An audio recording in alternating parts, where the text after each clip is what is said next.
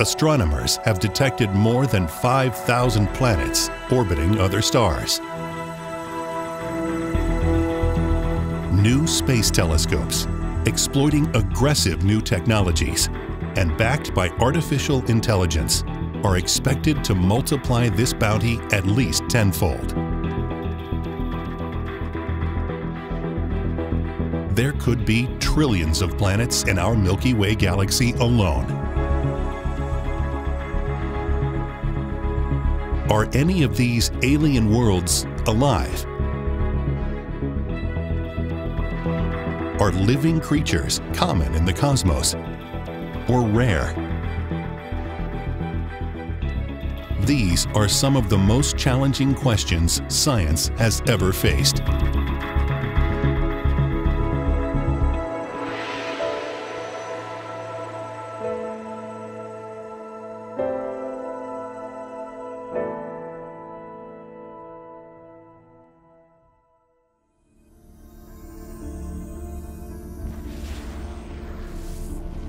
Clues to the answers may be found in the early universe, but they are hard to see because space itself is relentlessly expanding. The light from those early times has been stretching, shifting further and further down the spectrum into the red.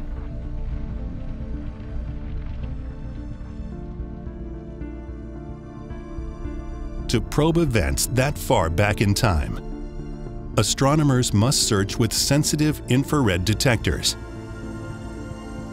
like those aboard the James Webb Space Telescope, or JWST. Because Earth itself generates heat, these instruments must be placed far away in the cold of space and extensively shielded with their backs to the sun. Based on the Hubble Space Telescope Deep Field surveys. Astrophysicists think they have a rudimentary model of how the universe formed. But the Hubble can only see back to a point about 500 million years after the Big Bang. And it lacks a spectrograph to identify which elements existed and when. The Webb telescope could surprise them with details from only 50 million years since the beginning of time. It's not known why, for example, when the universe was just 5% its present age, there appears to be a sudden firestorm of star formation. Clumps of hydrogen gas quickly draw together, heat up, and ignite the fires of fusion. The cosmic sunrise some astronomers have called it.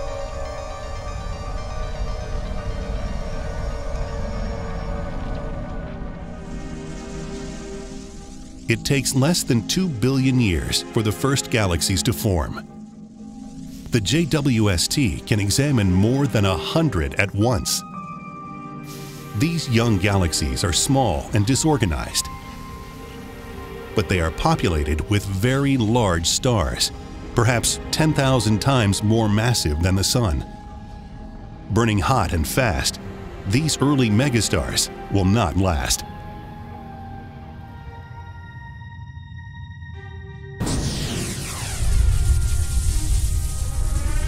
The most massive stars are likely to collapse and explode as supernovae, creating and delivering the heavier elements needed for life. But if a big star explodes in a small galaxy, its more complex atoms may be driven beyond that galaxy's gravitational power to haul them back.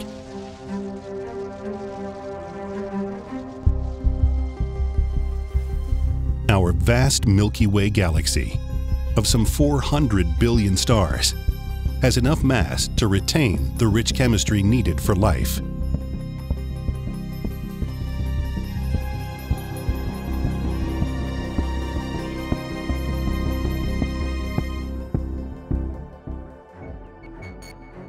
Our galaxy births, on average, about 10 new stars each year.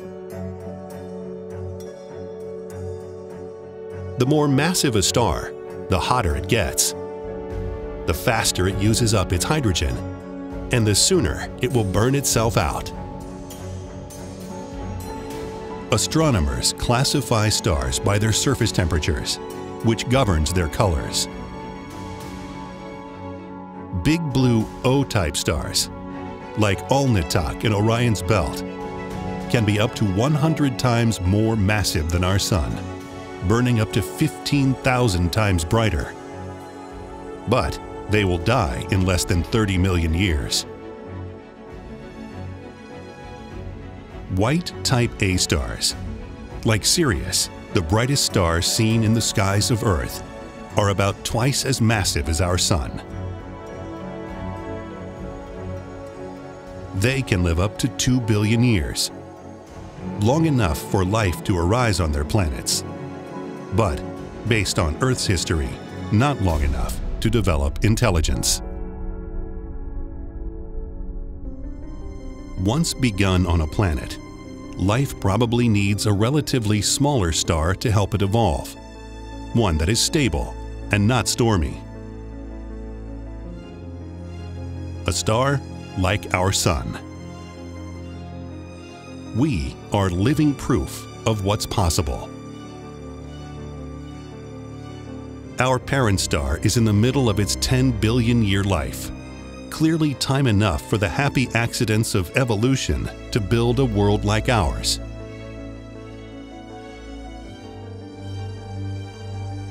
Astronomers would like to find other bright yellow mid-sized G-type stars but less than 5% of the stars in our Milky Way galaxy are Sun sisters.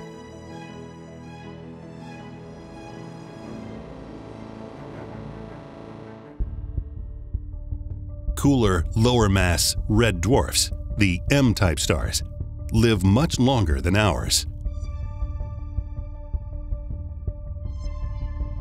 It is easier to detect Earth-mass planets that may be tugging on these small stars because the telltale wobbles in their stars' positions on the sky are proportionally greater. There are also many more red dwarfs than yellow suns. Three quarters of the stars in our galaxy may be these small M-type stars.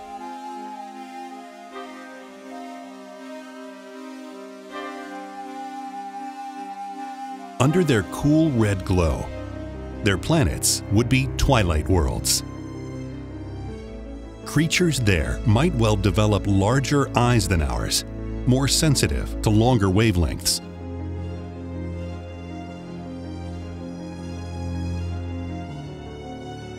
With more time to evolve and more niches to survive in, it's tempting to imagine that these smaller, cooler stars could offer better odds of life.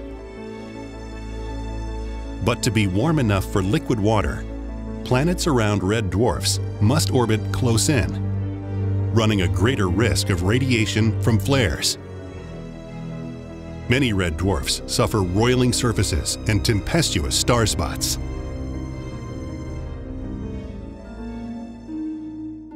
Even smaller, cooler stars lurk in the shadows.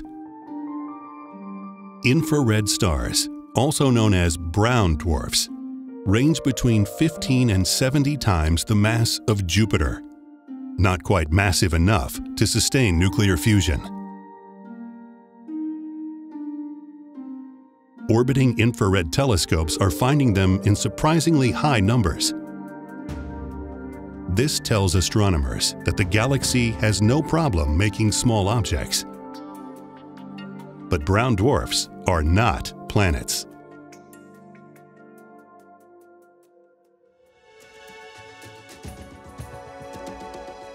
Gas giant planets may be only a fraction of the mass of a brown dwarf star, but they generate strong electrical fields and dangerous radiation. It is thought unlikely that life could develop close to a gas giant unless somehow shielded from its lethal energy. Big, puffy worlds like these also tend not to concentrate important heavy elements like iron, potassium, sulfur, oxygen that are needed for biology. nor do they form oceans of water or pleasant atmospheres. If gas giants have solid surfaces at all, they are buried deep in the thick, cloudy atmosphere, never exposed to their star's light. So far, Earth is the only known living planet. It is dangerous to reason based on only one example, but it seems most likely that life would prosper on a relatively small, dense world like ours. Though we don't yet know how life got its start on Earth, most theories revolve around abundant liquid water set in motion by strong tidal forces and an active atmosphere that stir an ever-changing broth of compounds, giving chemistry the chance to boot up biology. At some distance from every star lies a region at just the right temperature for water to remain liquid for millions of years. Around hotter stars, this band of temperature is wider and further away. Around cooler stars, closer and tighter. In this so-called habitable zone, a planet might sustain life as we know it. Astronomers have at least 15 different ways of spotting exoplanets. So far, most have been detected by a slight drop in the brightness of light as the planet passes in front of the parent star, as seen from the vicinity of Earth. This is called the transit method. Astronomers have confirmed many planetary systems with more than one planet in the habitable zone of their stars. This particular system has three and is a promising early target for the James Webb Space Telescope.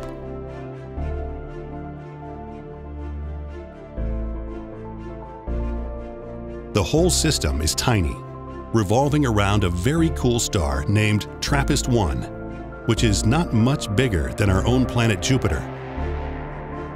All seven planets orbit within a zone smaller than the orbit of Mercury, our innermost planet.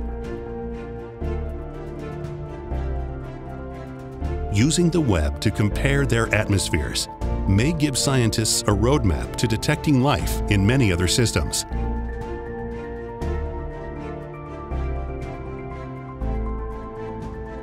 These seven planets affect one another's orbits. In a few such systems, the planet's gravitational interactions have pulled them into a stable, resonant ballet.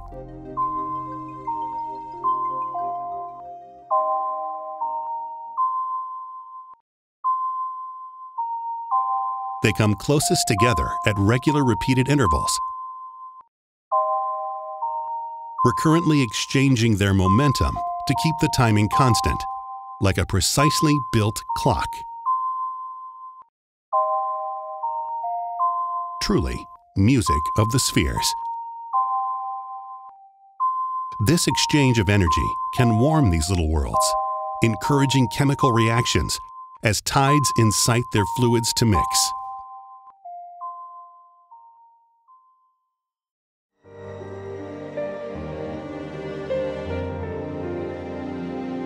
It is possible that life could arise on even smaller objects.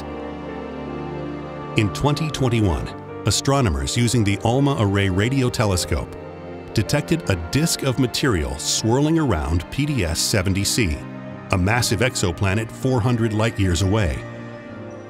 It was the first observation of moons caught in the act of forming around a planet.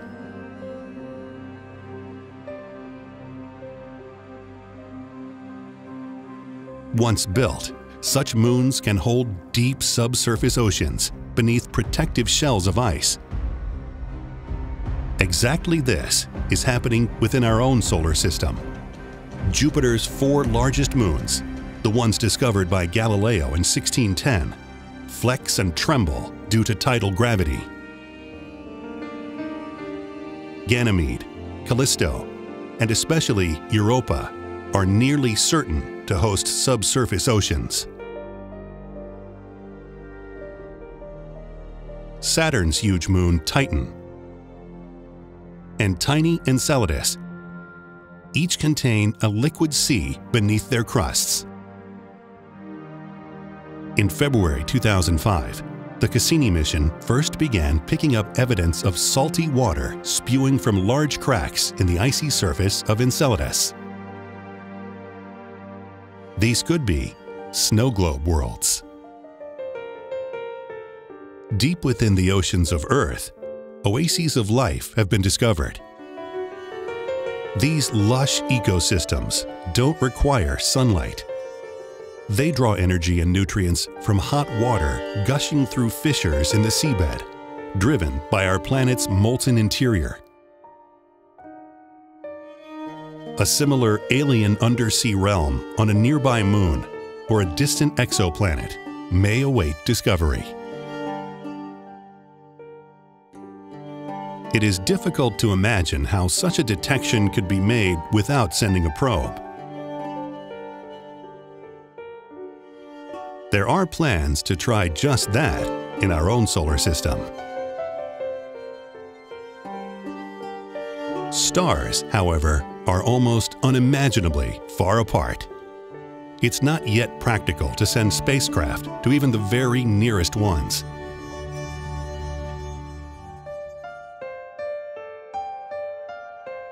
Fortunately, astronomers have come up with ways to gather clues to life from afar.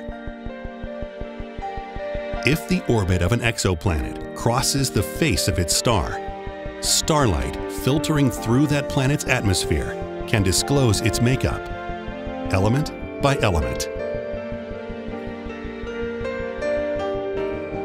In 2001, the Hubble Space Telescope identified hydrogen, oxygen, carbon monoxide, and sodium in the high, hot clouds of a giant world named OSIRIS.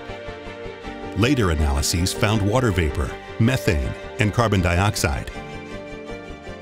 OSIRIS is likely too hot, too dry, and too close to its star to host life. But this detection sparked the quest for biomarkers, molecules in the atmospheres of exoplanets, which could be the exhalations of life. Operating at longer wavelengths than the Hubble, the new James Webb and Nancy Grace Roman space telescopes can determine chemical composition more clearly.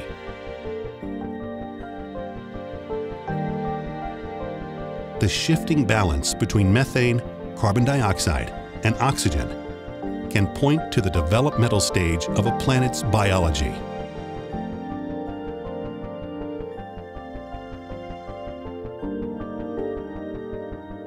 planets are also brighter in the infrared than in visible light, while stars are dimmer. Infrared detectors can see through clouds of interstellar dust and penetrate the local star soot emitted by the parent suns of exoplanets.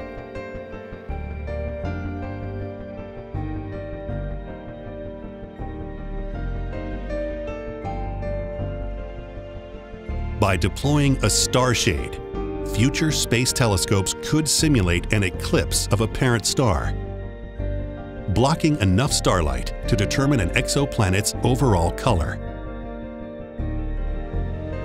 And perhaps taking direct photos of its surface and atmosphere.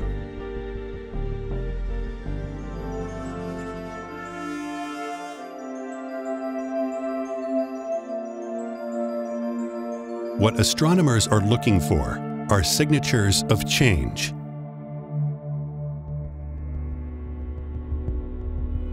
On our amazing planet, primitive plant life dramatically altered the atmosphere, consuming carbon dioxide and releasing oxygen, poisoning an earlier generation of microbes, making conditions hospitable for an explosive diversity of more complex life. On today's Earth, scientists are finding living organisms nearly everywhere they look. Among the nearby stars, nothing astronomers have found so far suggests that our solar system, or our homeworld, must be unique or special. Researchers are now confident there are at least 10 billion potentially habitable Earth-sized planets in our galaxy, which is only one of at least 50 billion other galaxies. Perhaps the range of life in the universe, on planets, within moons, inside asteroids, or elsewhere, is greater than we've dared imagine.